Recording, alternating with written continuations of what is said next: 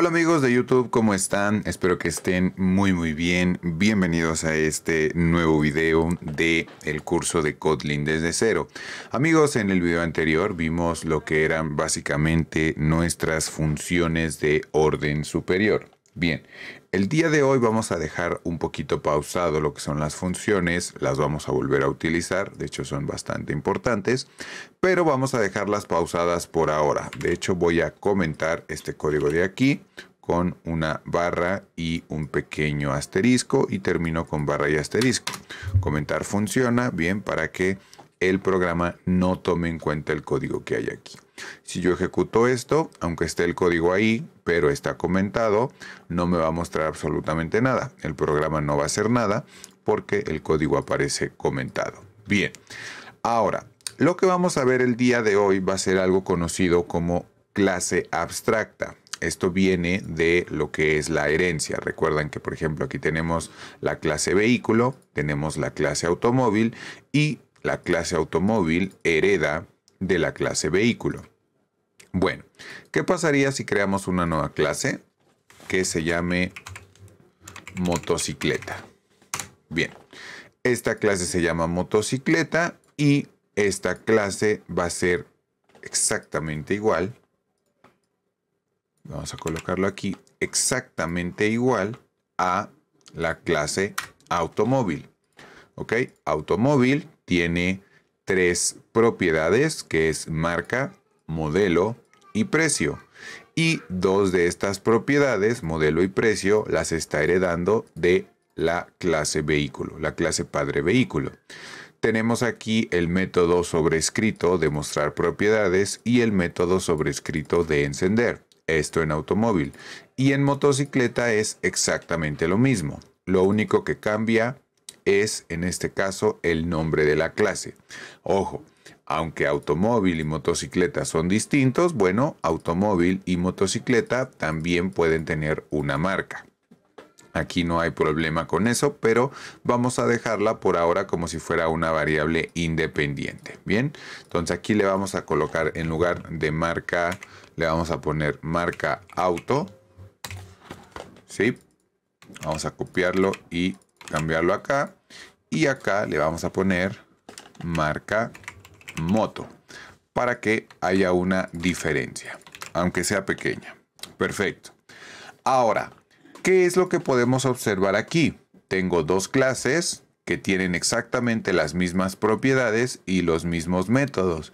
Y la clase vehículo, que es la clase padre de la cual salen. Bueno, pues esta clase, que es una clase abierta, digamos, de la cual se puede heredar, la podríamos convertir en una clase abstracta. Es decir, podríamos agrupar todos los métodos y las propiedades que tanto automóvil y motocicleta van a utilizar dentro de la clase vehículo. Y a esto se le conoce como una clase abstracta.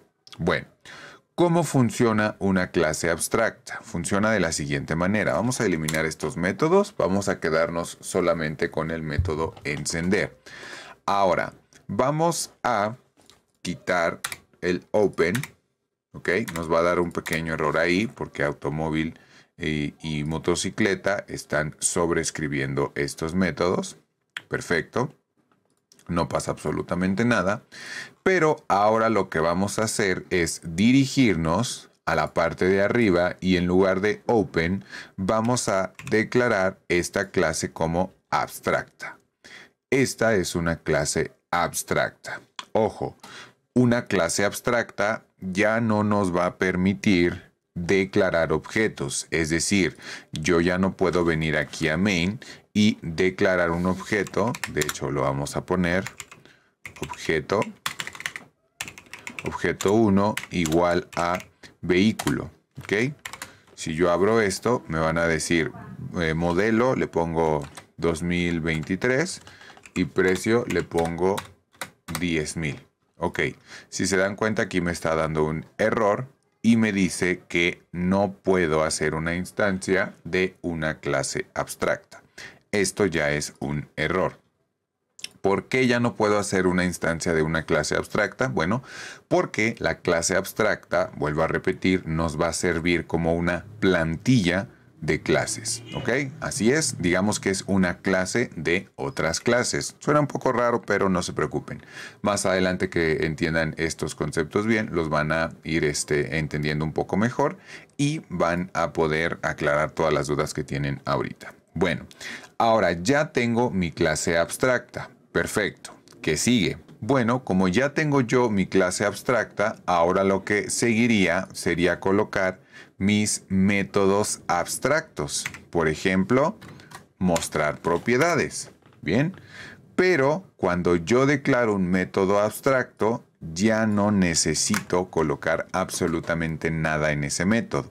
Es decir, ese método no va a estar, ojo, definido. Solamente va a estar ahí declarado para que lo podamos usar. Bien, entonces ahí tengo yo dos métodos, el método mostrar propiedades y el método encender. Ahora, dentro de automóvil, si se dan cuenta, ya tengo yo lo que es, ojo, sobrescrito el método mostrar propiedades y tengo sobrescrito el método encender. Como se pueden dar cuenta, mostrar propiedades o super.mostrar propiedades ya no funciona porque ya no existe ese método. Está solamente declarado, sí, pero no estamos haciendo nada con ese método. Por lo tanto, bueno, ya nosotros deberíamos de utilizar el método a nuestra conveniencia. Por ejemplo, aquí mostrar propiedades. Ahora en motocicleta hacemos exactamente lo mismo. Marca moto y listo. Ya tenemos una clase abstracta, que es la clase vehículo. Ojo, la clase vehículo tiene las propiedades modelo y precio. Y la clase automóvil hereda de esta clase abstracta, bien, de la clase abstracta vehículo, el modelo y el precio. Perfecto y después los utiliza a su conveniencia. En este caso en dos métodos sencillos que solamente muestran un texto. Bien, y motocicleta igual. Ahora, para crear un objeto, ¿cómo se hace? Bueno, pues creamos un objeto del tipo que nosotros queremos. En este caso, automóvil. Si se dan cuenta, automóvil nos está solicitando elementos. Marca de auto, perfecto. Ferrari. ¿Qué otra cosa nos va a solicitar? Nos va a solicitar el modelo, en este caso 2023, y nos va a solicitar el precio, 50 mil dólares vamos a colocar.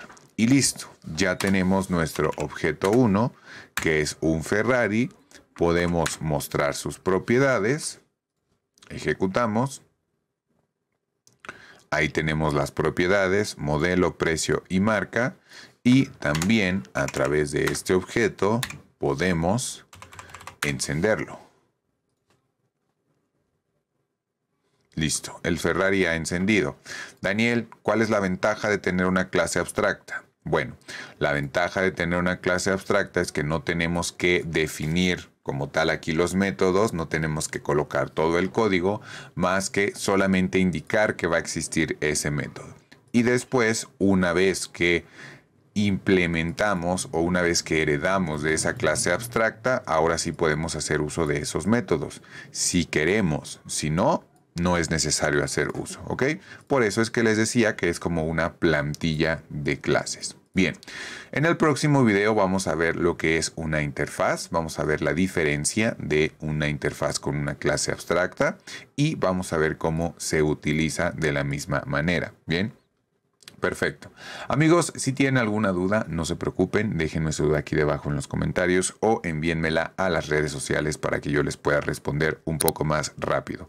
No olviden compartir este video, suscribirse, dejar su like y nos vemos en la próxima. Bye.